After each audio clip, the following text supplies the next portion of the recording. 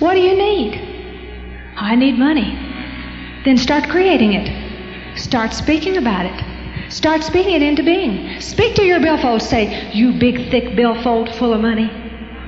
Speak to your checkbook. Say, You checkbook, you've never been so prosperous since I owned you. You're just jammed full of money. You've got pain and disease in your body. Speak to your body. God will create the fruit of your lips. Say to your body, your whole body. Why, you just function so beautifully and so well. Why, body, you never have any problems. You're a strong, healthy body. Or speak to your leg, or speak to your foot, or speak to your neck, or speak to your back. And once you have spoken, believe that you've received and don't go back on it.